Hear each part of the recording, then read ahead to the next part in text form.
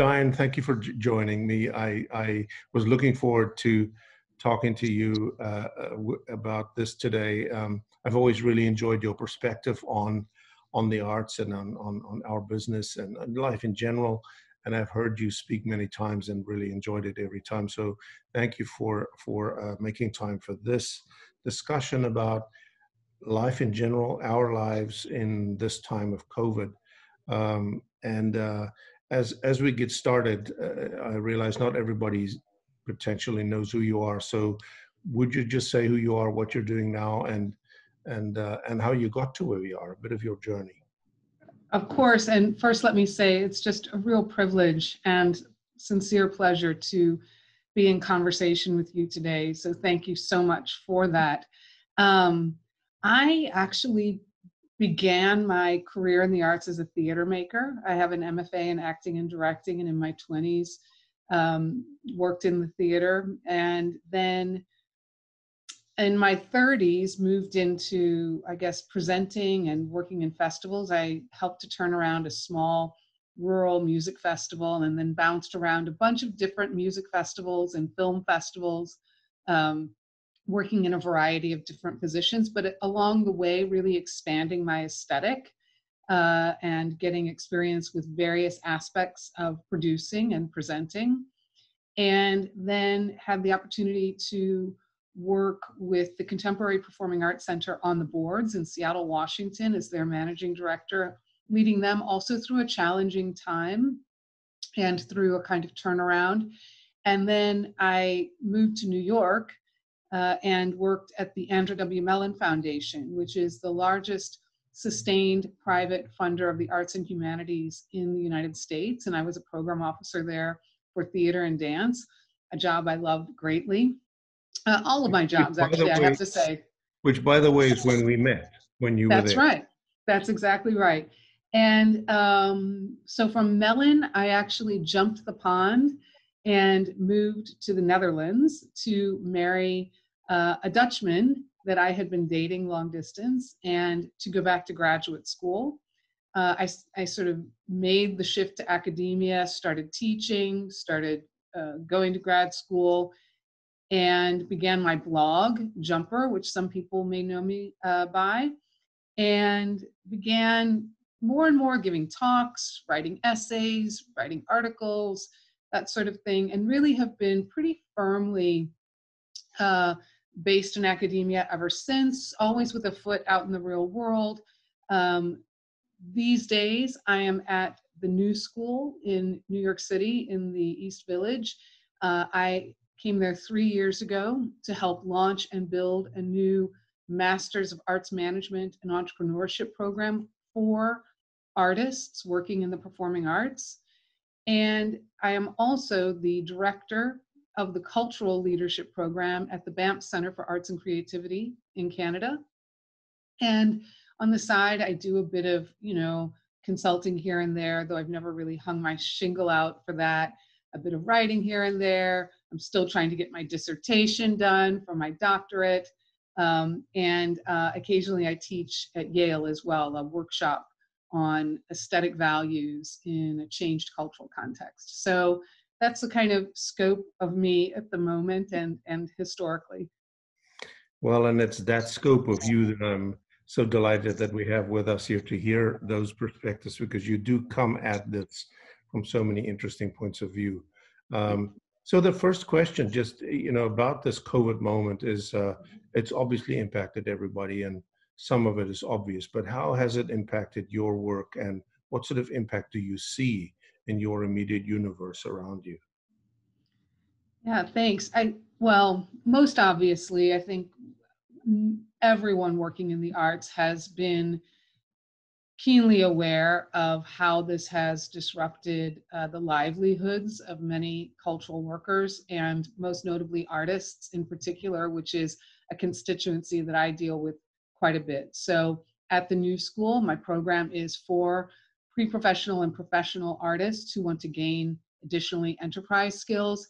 And overnight, they lost their gigs and they also lost many of them their day jobs and uh, or other jobs that they do on the side of their gigs And so it was pretty devastating to them. And of course, we've read a lot about this ever since. But I would say the larger shift in work has been this shift to online, which was made at the new school in a matter of days. Um, we went from having one course in the entire College of Performing Arts that was online, which was a course in my program, to putting nearly the entire course catalog online. And th- this is, these are conservatories, right? So these are um, not courses that one traditionally thinks of, of t- uh, taking remotely.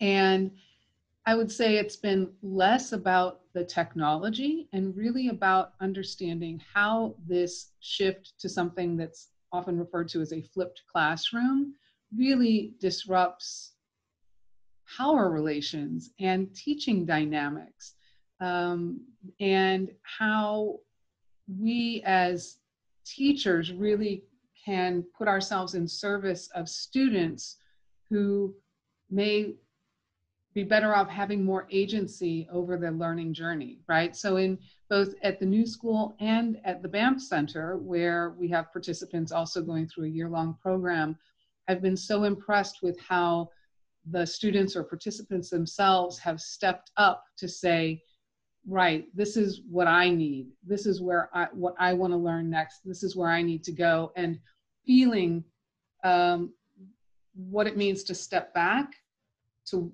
to look at and really trying to understand what the student needs at that moment in time and to try to support that journey as opposed to just marching through a kind of preordained syllabus of you know topics and articles and things like that. And so that's been actually really pretty revelatory. And and it's great to to to realize now that this is among the tools that we have in our toolkit for teaching right is that we do know that we can go online um, others, of course, have done this long before us, and that good things can come of this.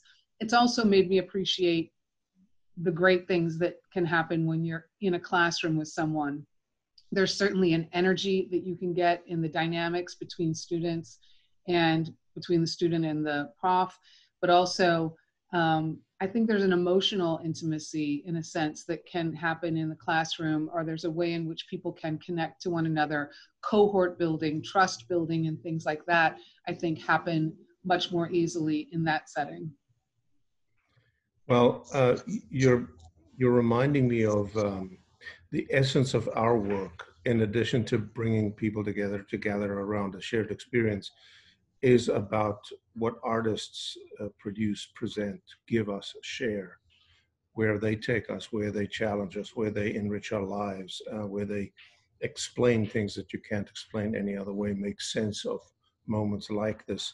And so in our work at the Arsht, we've created a few avenues for artists in Miami to still be engaged, and we are, you know, trying to make a small difference uh, as much we can by keeping some teaching artists employed and, and other artists, uh, giving them paid opportunities to populate our online world, which is Arsht at Home. Um, and, and they're making huge contributions and just enriching our lives in ways that only artists can. And I'm delighted we can do it, but we're not doing nearly enough. How do, how do you think during this time artists and the arts uh, can what can and should they do during this time? Mm, thank you. That's a great question. And I also I want to commend you on what you are doing at Arsht at Home. I checked out the resources when you first sent me the link a few weeks ago, and you, I know you've continued to add to it. And I'm really impressed with the sorts of new programming that you are uh, putting online and the, the various ways that you're trying to reach um, communities that you serve. It's terrific you know, I, I mean, in some ways, so my conception of the role of art in society is that uh, comes from Bill Sharp, who says that art is the way we share with one another what it means to be human. Mm.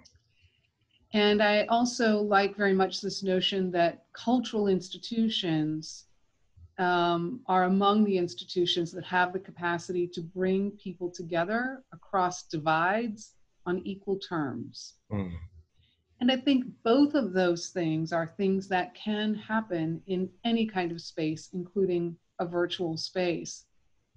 at this moment in time, it feels to me that our communities are in need of a range of things ways of dealing with loss, with their grief, which we're only beginning to, to come to terms with, uh, sense making of all of this. Um, we need to lift our, find ways to lift our spirits, to find hope. Um, sometimes we need distraction from the stresses of COVID 19. I also think that we need help imagining the excuse me future beyond COVID-19 and how we want to create, uh, recreate, rebuild our communities, perhaps in a way that's healthier and more equitable and more sustainable. And I believe um, artists and cultural institutions um, can play a key role in serving their communities um, in these ways. I also think I, just over the weekend, an artist friend of mine, a visual artist named Greg Conniff, um, turned me on to a book, um, At the Center of All Beauty by Fenton Johnson. And it's essentially about the beauty in solitude. And I think there's something that artists in particular have to teach us about that. So the, there's much about the human condition that is challenged at the moment and artists and cultural institutions i think have something to offer there and the mode of doing that well i think we're already seeing a thousand experiments in this right? Everyone's already doing it. You're doing it. You just have to go to any website of a cultural institution and you see the many ways we're trying to get at this. And all we can do is keep experimenting and asking ourselves what do we notice? What do we notice? You know which of these kind of takes hold and people say we love this. Please give us more and which of these not really and we have to keep trying again or asking questions but it's the inquiry around that and i think understanding these essential ways that we can help each other share with one another what it means to be alive at this moment in time and to have hope for the future. Well that last sentence what it means to be alive and hope for the future sort of captures uh, so much of what artists uh, give us right? Uh, mm-hmm work that they have done through centuries. Uh, and uh, I, I, guess the one unfortunate truth is that artists, certainly uh, of all kinds of um, professions, understand hardship. Uh, this is not the first time that they would have been challenged and existentially challenged. And somehow there's that innate ability to draw deep, deeper than most of us, mere mortals, uh, and and find sense or find a way to articulate that which is so necessary for the human condition. So, um, as this as this unfolds, people are losing their jobs. They're losing uh, so many really, really uh, practical and existential things in their lives. And and so, how could we talk to folks like that who are in that position about the arts, and why is that important? Why why should the arts be on their radar during this time? Yeah, you know, I think there's a I think there's a fine line between, you know, making trying to make the case for the importance of the arts at a time when people are struggling with really essential things in a kind of rational way that doesn't feel right, right? It's like I don't I don't know that a sort of here's our best argument for the arts versus something else that you might want to spend your time on or spend your dollars supporting or something like that. But I do think that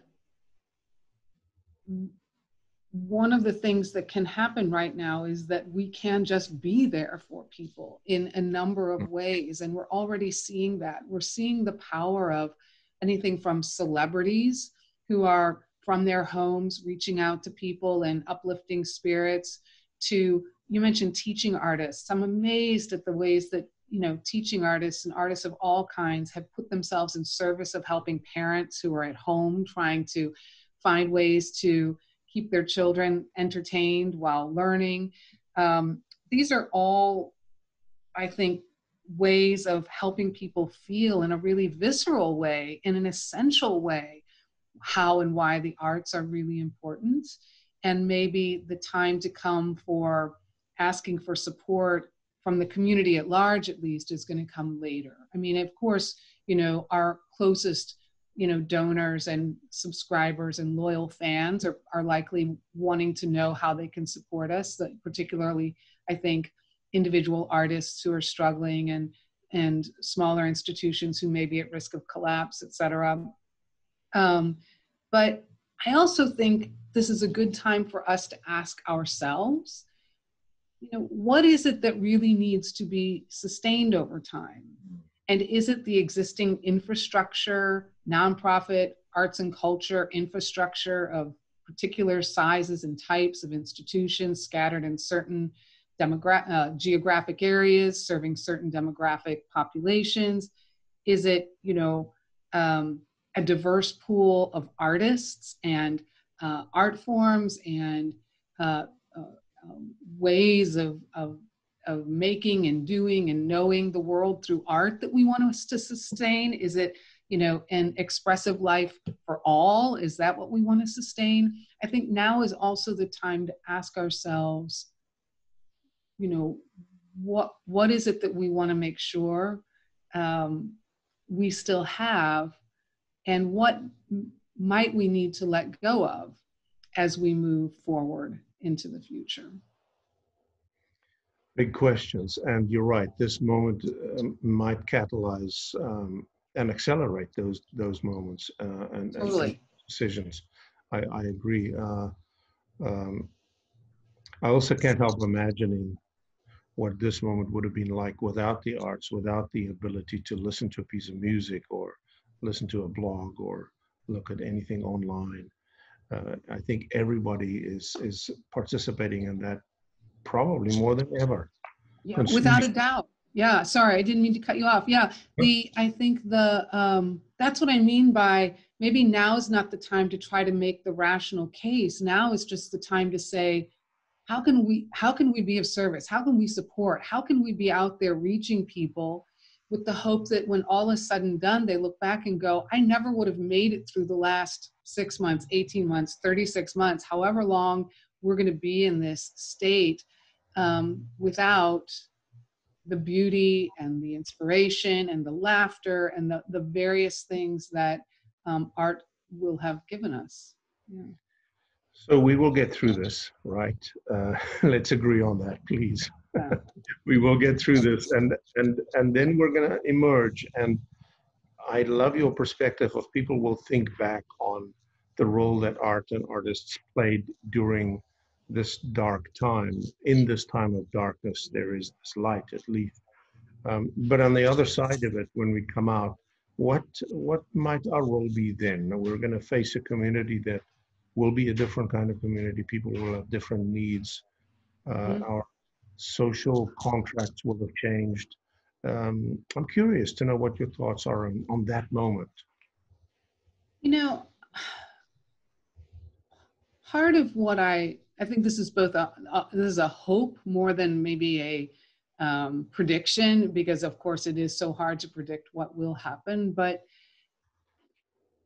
if anything, I would love to see the arts come back as a more essential part of the mm. social fabric, less sort of you know icing on the cake, and more part of the cake um, mixed in with all of the other sectors, right? Knitted together with health and transportation and health and human services and you know all of the um, you know food food um, uh, security and all of the ways that we would define kind of quality of life, education, et cetera.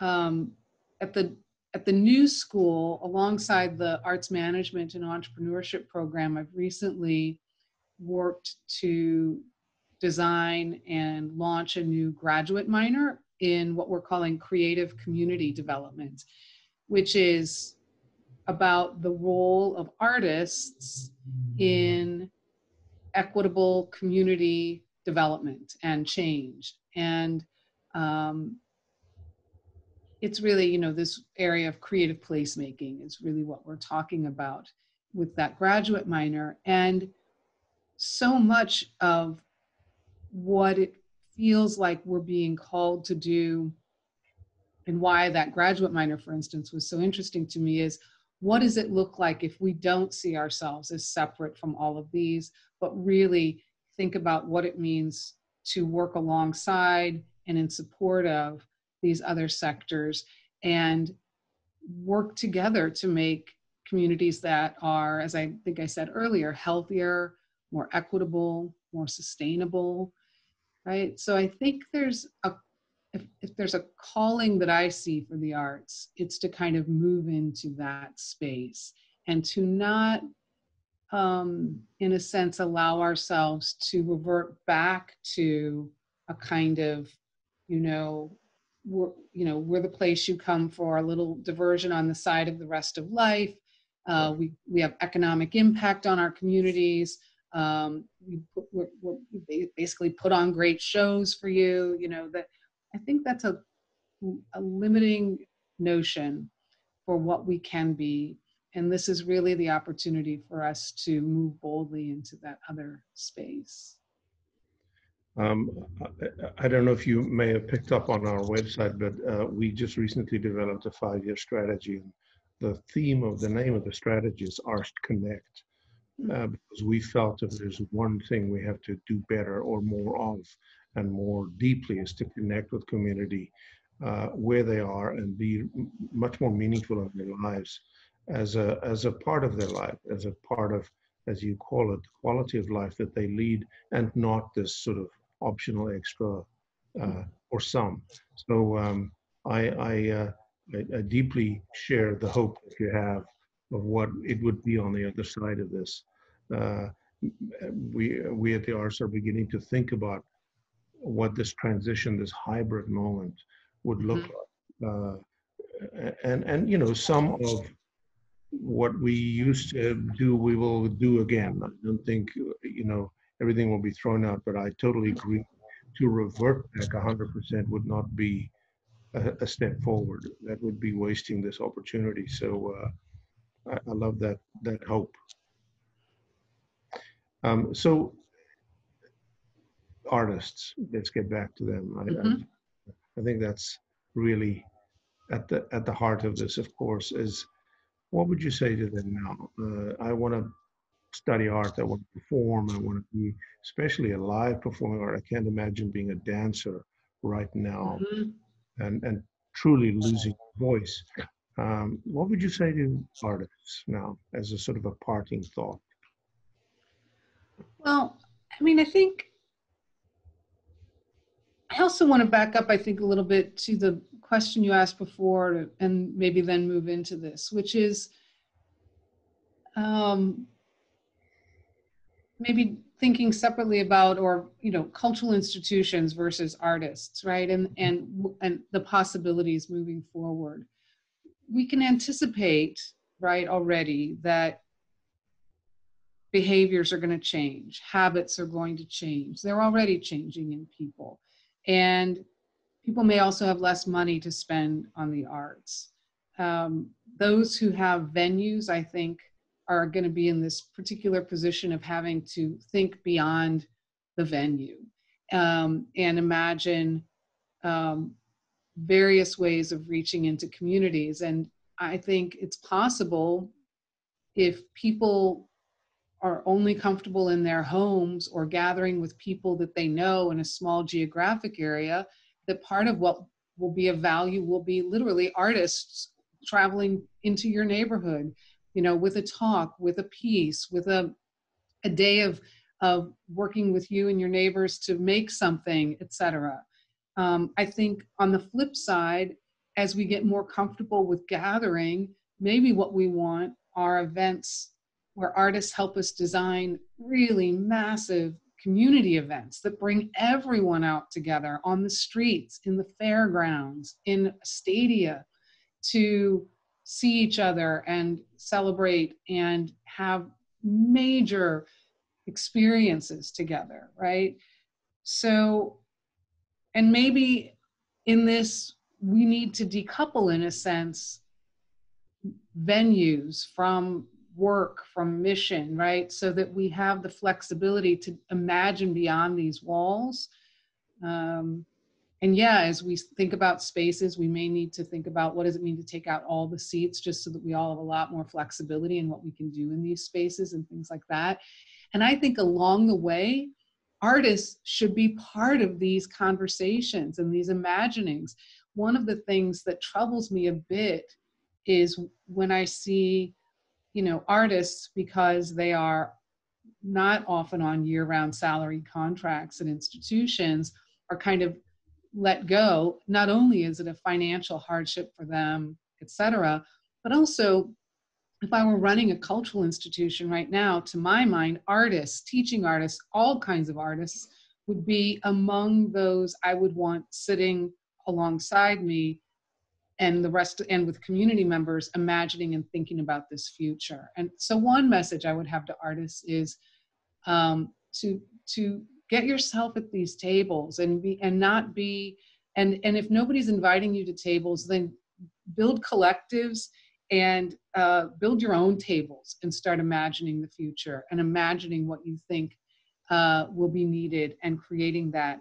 Um, experiment and share with one another your experiments. And also, you know, we may have a time where artists need to gather with other workers and fight for better contracts and fight for better security in some ways and make sure that the next time we have um, something like COVID 19, that we don't see the large majority of our artist populations in really impoverished um, circumstances struggling to keep going um, despite everything.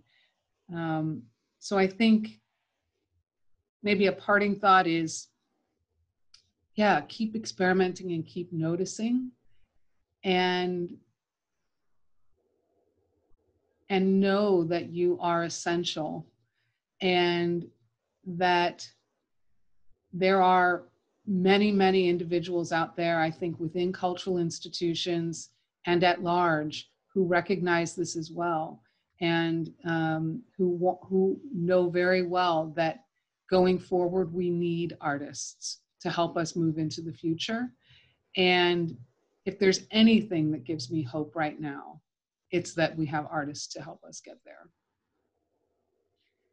Um, I'm I'm so glad that you you ended on that note and that we um, at the Arsht uh, um, are are also always aware of without artists we are just a building, uh, and that's not our mission is to be a building.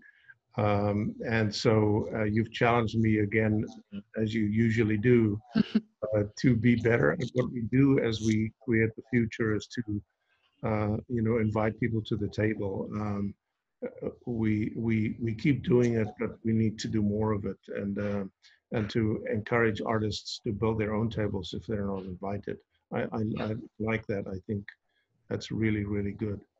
Um, Diane, as always, I I just uh, enjoy talking to you, and uh, want to thank you for spending some time with me and and sharing your thoughts with us. Uh, I think that's great. Uh, our, our our folks are going to enjoy listening to you. Johann, thank you so much. It was a real pleasure and I really appreciated your questions, but also I'm so admiring of the specific work you're doing at the Arsht and um, keep going. And I know this must be an incredibly challenging time uh, for all uh, leaders of cultural institutions making really tough decisions right now and trying to navigate uh, with limited resources and uh, all sorts of challenges. And I just wish you all the best and everyone who's watching as well. Um, uh, I believe in the power of networks to um, get us through this. Um, thank you for hosting these conversations. I'm sure they're providing a lot of comfort to your community as well. Thank you, Diane. Uh, take care. Be Thanks. safe. bye bye.